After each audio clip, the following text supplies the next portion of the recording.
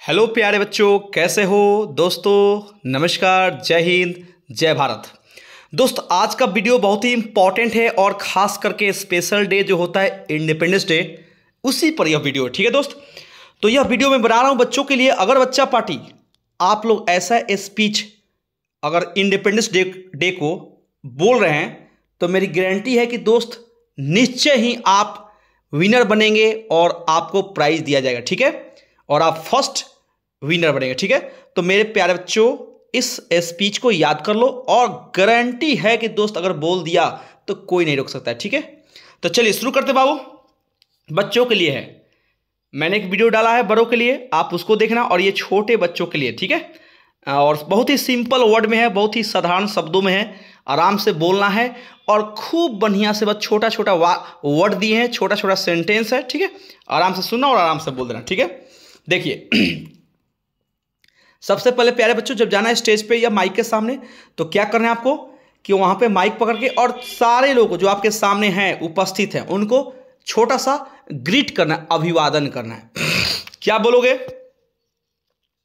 Good morning good morning and happy Independence Day to my respected teachers and dear friends ऐसा ही बोलना। Good morning and happy Independence Day to my respected teachers and dear friends it is our seventy six Independence Day and we should feel proud to be a part of an independent nation that has freedom of a speech and freedom to live life in our own way इसको ज़रूर बोला है। मेरे प्यारे छात्र, जो भी बच्चा पार्टी देख रहा है, इस वीडियो को सुन रहा है पहले शुरुआत में यह ज़रूर बोलना, आप अपने स्पीच को शुरू करने से पहले इस लाइन को ज़रूर बोलना, ठीक है? ये आपका ग्रीट हो गया। देख लो यहाँ पे। क्या हिंदी बताना पड़ेगा कि समझ में आ गया? ये अभिवादन है, जिसको हम लोग बोलते हैं good morning happy Independence Day to my respected teachers and dear friends आज हमारा यह छिहत्तरवां क्या है? स्वतंत्रता दिवस है, और हमें इस पर गर्व महसूस करना चाहिए कि हम लोग इस स्वतंत्र राष्ट्र के एक पार्ट है, हिस्सा है, जो कि हमें आज़ादी दिया है। क्या दिया है? बोलने का, जीने की आज़ादी, और भी अपने तरीके से। ठीक है? आगे देखिए। ये ज़रूर बोला है। Fifteenth August is a red letter day in the history of India. बोलना है, ठीक है? कि भारत के इतिहास में पंद्रह अगस्त को एक महत्वपूर्ण दिन मानते हैं, ठीक है? वी बिकेम फ्री क्यों मानते हैं? क्योंकि we became free on this day in 1947 आज ही के दिन, उन्नीस में हमारा देश आज़ाद हुआ था and India was ruled by the English man और हमारे जो, हमारा जो देश है, भारत, वह अंग्रेज़ों के द्वारा शासन किया गया था and they ruled us for a long time और वो अंग्रेज़ हमारे ऊपर, हमारे देश पर बहुत लंबे समय से क्या किए? लंबे समय तक शासन किए। लेकिन हम लोग चाहते थे we wanted to be free हम लोग चाहते थे कि क्या करें, आज़ाद हो जाए। उसके लिए हम लोगों ने क्या किया? So we started a struggle हम लोगों ने संघर्ष शुरू किया। मेनी इंडियंस वेयर यहाँ पे दोस्त वेयर कर देना मेरे प्यार छात्र ये गलती से मिस्टेक बाय मिस्टेक प्रिंट हो गया है। आप यहाँ पे वेयर कर देना मेरे प्यारे छात्र आपसे एक रिक्वेस्ट है, इसको वेयर बना देना।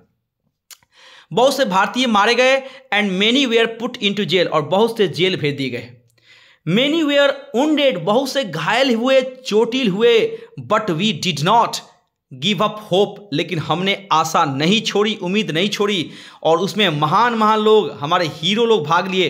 नाम था गांधी जी नेहरू जी सुभाष एंड अदर्स बहुत भी, और भी सारे स्वतंत्रता सेनानी थे जो took part in the struggle इस संघर्ष में भाग लिए। एंड एट लास्ट अंत में the English man left India इन सब के जिद की वजह से अंग्रेज़ों को भारत छोड़ना पड़ा and our country became independent और हमारा जो देश था, वो स्वतंत्र हो गया ऑन 15 अगस्त 1947 इसी दिन को।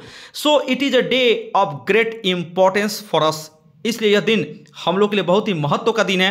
सिंस देन तब से we celebrate this Independence Day with great joy तब से हम लोग यह स्वतंत्रता दिवस मनाते हैं, बहुत ही धूमधाम से, ठीक है? अंत में कहना दोस्त एट लास्ट जब आप लोग स्पीच को समाप्त करना तो अंत में कहना कि एट लास्ट यानी कि अंत में मैं सारे भाइयों से, दोस्तों से I want to say something in Hindi यानी आप सभी से मैं कुछ हिंदी में दो लाइन कहना चाहता हूँ, बोलना चाहता हूँ, अगर आपकी इजाज़त हो तो। लास्ट में हिंदी में ज़रूर बोलना है। ठीक है?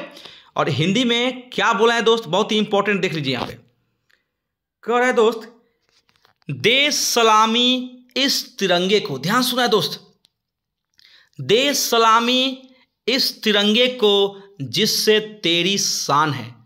देश सलामी इस तिरंगे को जिससे तेरी शान है।